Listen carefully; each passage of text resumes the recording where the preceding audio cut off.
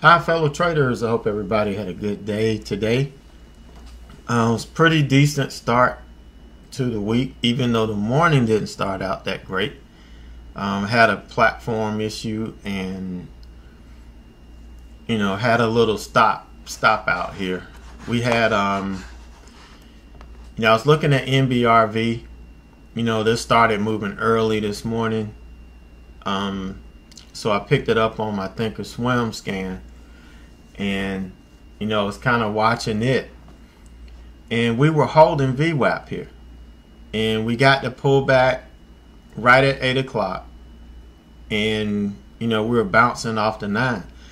So I wasn't, excuse me, I wasn't going to take it down here because I don't like, you know, buying into resistance.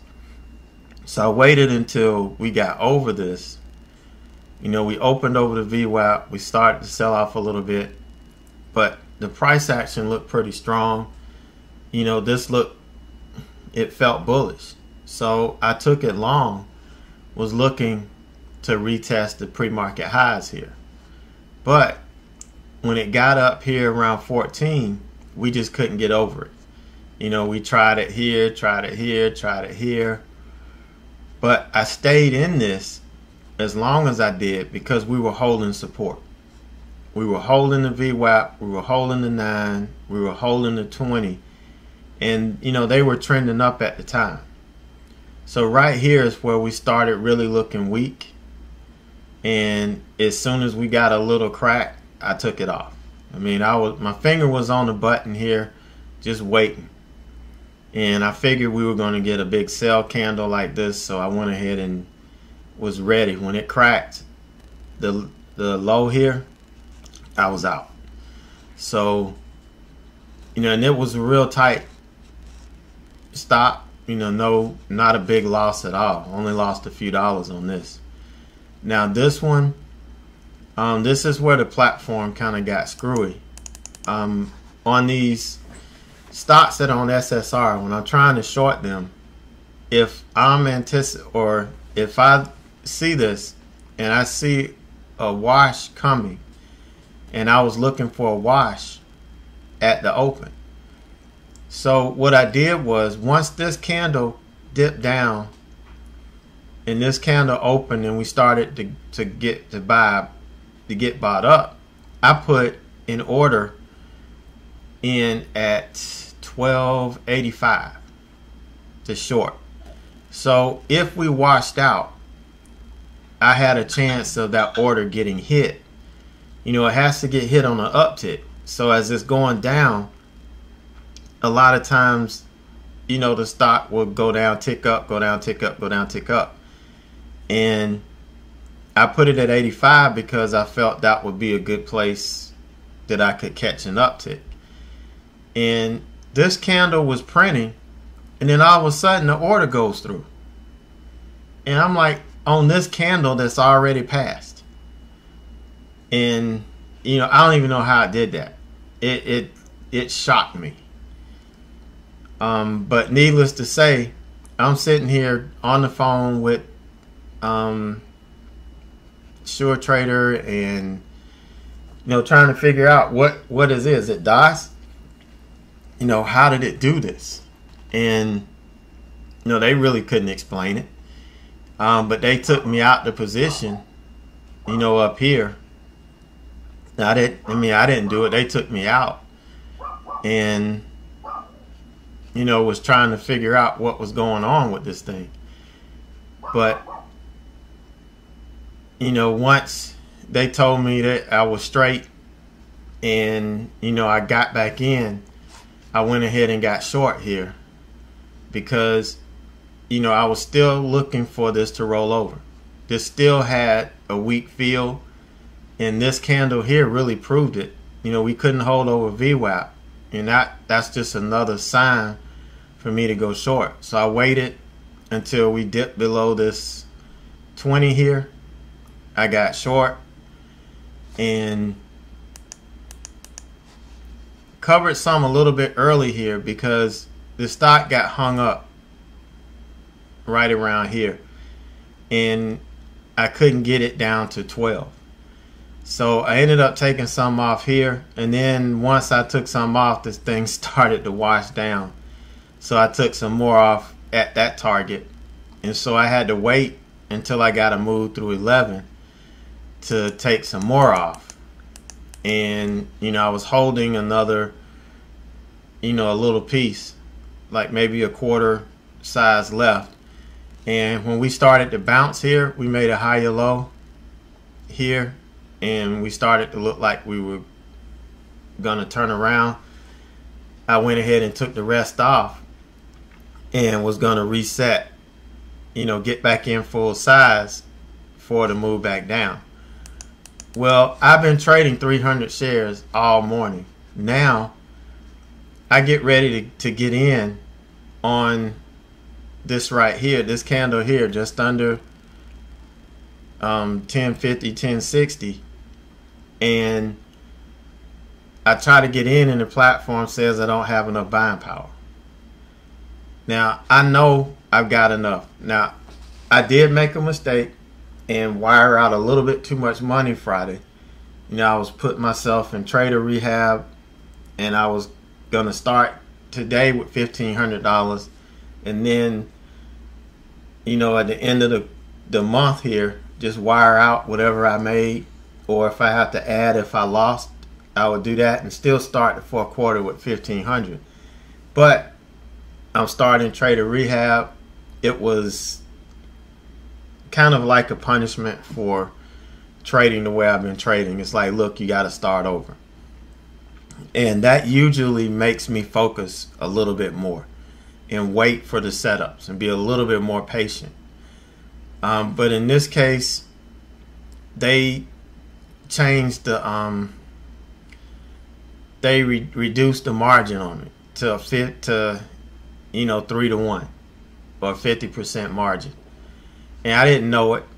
And i logged out logged back in still tried to get in but got in with 200 shares. And yeah i chased it a bit but i looked at this and said okay i can use 10 as my guide here. If i lose 10 i'll just take it off. Or when we get to the 200 I'll just go ahead and take it all off which will probably be about the same amount you know had I scaled out like I was going to scale out. So that was the plan. And you know this dip down here I didn't get a chance to put my order out here but it dipped down and came back and I thought well oh man I just missed it.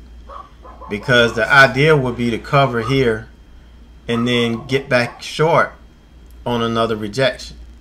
Because I'm I'm just working this stock all the way down. And that's what I like to do. Once I get locked in and the stock looks like it's going to sell off all day, I'm just going to work it. You know, I'm going to sell the pops and I'm going to buy the dips. You know, and that's what I was doing. So, I was selling short on the on the retest and the pops, and I was buying the cover on the dips. So here we did pull back a little bit, and I did cover here. I left a, I covered some here. I covered some here.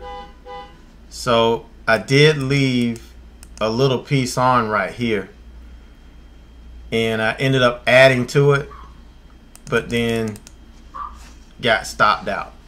I mean, that, but that was when I got thrown off the horse. All right, so the last thing, if you haven't seen the video I put out yesterday about finishing the fourth quarter strong, um, make sure you check it out. If you know anybody that's trading, that's looking at trading, um, that may be struggling, share it with them. Um, you know, we're going to dedicate ourselves this fourth quarter we're going to rededicate ourselves and we're going to give it you know 120% and we're going to make it the best quarter of the year. Because if you if we finish the fourth quarter strong then we can go into the first quarter the beginning of the year with that momentum. And you know trading is a momentum game and we need to keep that momentum going.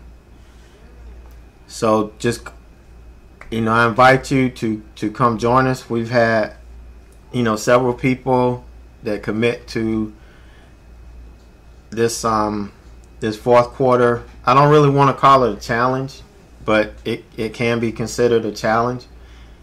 But we're gonna make the fourth quarter the best quarter that we've ever had trading. You know, hands down. And the focus is gonna be on education. The focus is gonna be on developing discipline and learning when we need to trade and when we don't need to trade. It's just like today. I've gotten six six emails so far that I've been able to read from the traders that send me their trades for me to look over from that day. And all six at 12 o'clock today were green. When I stopped trading, they were green. I was green. But they kept trading through lunch, after lunch, and uh, and they ended up giving money back, and then some. They ended up giving back what they made, and then ended up losing, ended up red. And that's one of the key things that I try to teach. You know, when it's time when it's time to stop trading, you need to stop.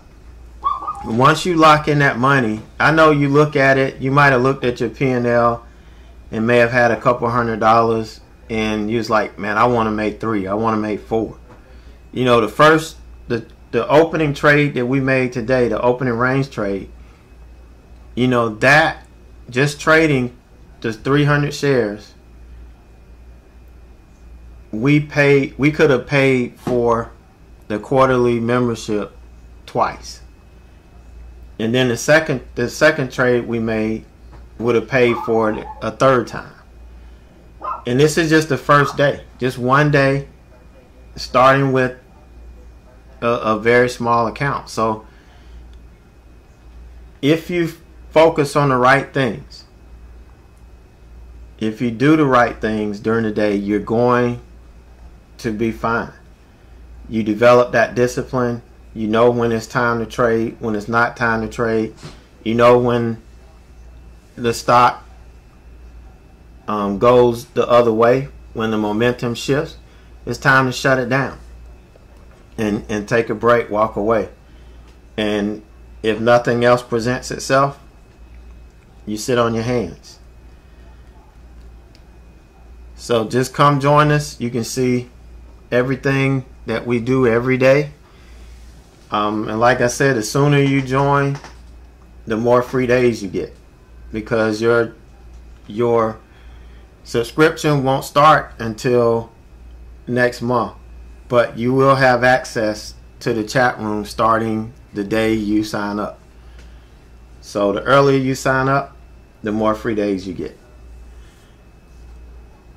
All right so if you have any questions or anything you want to ask me about it just email me ed at averagejoetrader.com and i will get right back with you so you guys have a great evening, a great night, and we will see you first thing in the morning.